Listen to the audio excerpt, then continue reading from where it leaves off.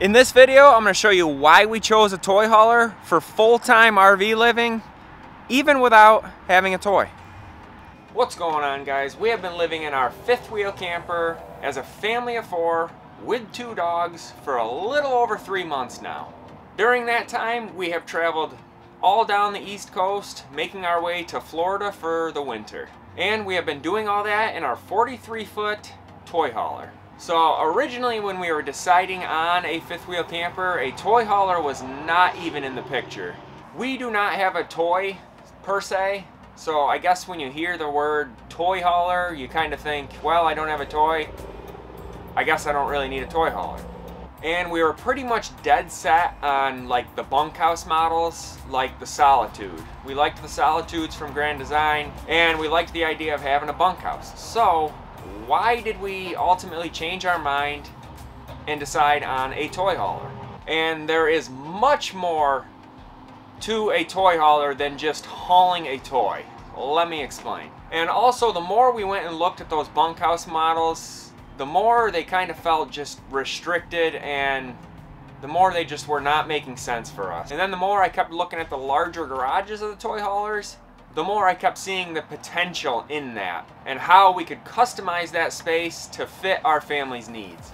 So that is what we did. We went with the toy hauler and here we are. So my wife and I decided we wanted to make the back area our bedroom. So what we did is the front main suite we were gonna make into the kids bedroom. So we completely tore the king size bed out of there and turned that into two separate beds for the kids. Now, I'm not going to completely get into how we remodeled it and did it.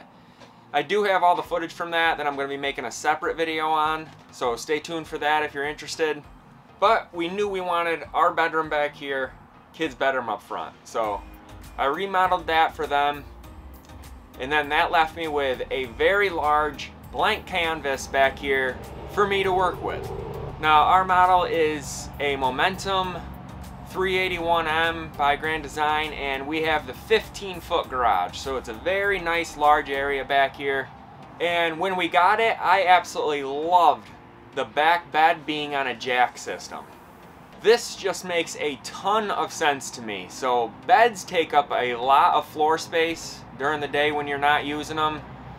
And the idea of being able to lift that up and out of the way to create much more floor space back here during the day, just that won me over. Just that reason alone. Because when you have a bed sitting here during the day, that's literally all it's doing is taking up space. So that was definitely just a game changer for me. Another huge reason for the toy hauler was work. Because even though we live in this full time, we still have to make an income. We still have to work. My wife has a normal 9 to 5 job. And I've seen a lot of people with the other models, they convert their bunkhouses into offices. But with kids, we did not have that option to convert a bunkhouse into an office. So when I knew that the back bed was on jacks and you could raise it up during the day, when you're not sleeping, get the bed up and out of the way, I made two desks underneath the bed to give us our space, our office space to work. And this has worked great. These two desks have been phenomenal. And also me personally, I'm up early in the morning, well before my wife even thinks about getting up. And I still have enough space to come down here, get on my laptop, and work while she still sleeps in the bed above me. And also on that note of a workspace, being on the road full time, this gives us a perfect spot to homeschool our children. Either both of us or one of us can sit at our desks here. We bring in their little wooden table and chairs to act as their desk. And basically it turns it into a little classroom for them. Next up, with full-time living on the road comes laundry. And with a family of four with two dogs, a lot of laundry. We have a two-in-one combo washer and dryer back here that we try to do one load a day. Usually that keeps up with everything. And with the bunkhouse models, these two-in-one washer and dryers are located like in the front bedroom. So they're kind of crammed in the closet and it kind of made accessing them a pain. With ours right now, it's very open and accessible when you got to do laundry, it's right there ready to go. So that has been another huge advantage of the toy hauler option. Another thing we have loved about it is it can act as like a mudroom slash foyer area. An area for the dogs to come in and dry off if they've been swimming or it's been raining out. An area for us to come in after it's been swimming to change out of the wet clothes it has just been a large area for that type of stuff that I think often gets overlooked. I just think something like that, when you're living in a house, that's something you definitely take for granted. And with a toy hauler, you have that area to do that. Having the drop-down patio in the back. Now, when we first bought our toy hauler, this was like the main perk of it. This is what you thought was like the best thing. Because when you're at an RV park and you see it, you think that looks really cool. Honestly, I think it's a little bit overrated. It is nice to have, obviously, uh, but since we've been doing this for three months, we have not used it that much. But it is worth mentioning in the video because it is nice to have. It's a nice place uh, to keep because it's all fenced in so the kids can play back there. The dogs can go out and lay back there. And it also has an awning over it as well, which is kind of nice. But I think literally the best part about it is I'm shooting back here right now doing this voiceover type thing. And the best part about it is I have it down and the natural light that it brings in. That is by far the best part about it. Because it basically turns your whole back into a window. So when we were transitioning from our regular house to living full-time in a fifth wheel, a huge question for me in this full-time living was where was I to work out?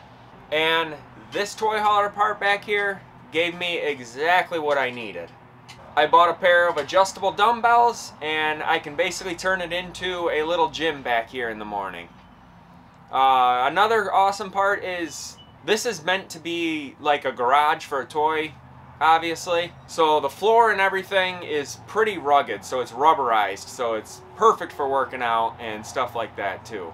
And probably the biggest advantage to this, as you can tell I'm saying just a lot of advantages. We will get into a couple cons, but the biggest advantage to this is storage. And when you're living full-time in one of these, that is something you definitely lack. The garage part back here has gave us plenty of storage. So when we're transitioning from park to park, we load up to head to the next destination. This is the perfect spot back here to throw all of our outdoor stuff. So we got our four bikes that we store back here. We each have bikes. Uh, we got the solo stove, the grills, the dog fence. I have my table saw, my miter saw, because I, I run another YouTube channel where I do my woodworking. And like I said a few seconds ago, this is meant to be a garage, so it's all rubberized. So storing all that back here, you're not really going to harm anything. The floor is meant to take abuse. So basically anything we store outside when we're set up at camp, we can store in here on travel days. And that has just been amazing. With a regular bunkhouse model that we were looking at, I have no idea where would we where we would store that stuff. We would have to, you know, invest in a bike rack.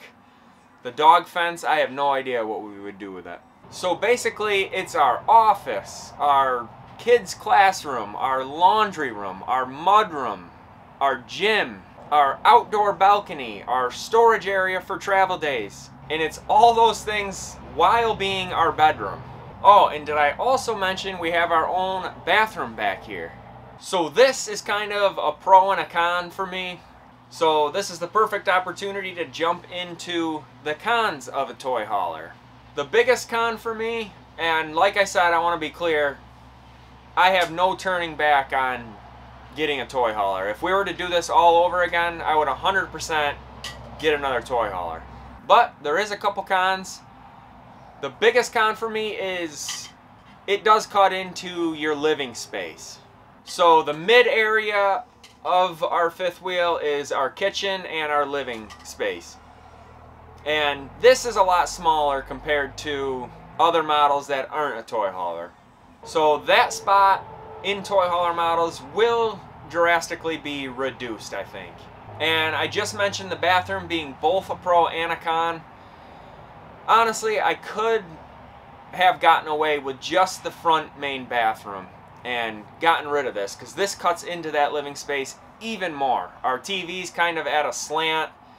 I would have rather gotten rid of that bathroom and have that wall be straight and have the TV against that wall because that would have opened up the middle a little more. But it is nice having our own bathroom back here as well. Another con I have found is it's not heated great back here. Um, being in Florida right now, that's not a big deal, obviously. But when we were in North Carolina and Tennessee, it did get below freezing. And you do notice that in here. The toy hauler area, at least in our model, has one heater vent where the living area and the front bedroom have multiple ones and it just circulates around much better. Definitely back here it's kind of a a colder spot. But to combat that all we did was you buy an electric space heater and that that solves everything. It's been fine that way. Like I said, this is me and my wife's bedroom back here basically and storage for clothes is very limited. With the front bedroom, you've got, you know, a slide out right there that has the closet and the dresser all built in. We had to buy the little Walmart Sterilite dressers, so there's not a ton of storage, but it works. Another thing is, it's nice having this big 15 foot garage, but this thing is massive for towing from place to place. I have gotten a lot more used to it now. Doing it for three months, switching places week after week. But we have found we will be staying for lengthier stays coming up. It'll just be less stressful and we'll do two to three weeks at a time instead of one week increments. So that is the cons. Like I said, not that big of a deal. They are definitely not enough to change my mind to go back to a normal model. I think the pros outweigh the cons by a ton. So there you have it guys. That's why we chose a toy hauler. If you're looking at doing this whole time, hopefully this video helped you. Let me know in the comments below what you think. Until next time, I'll see you in the next video.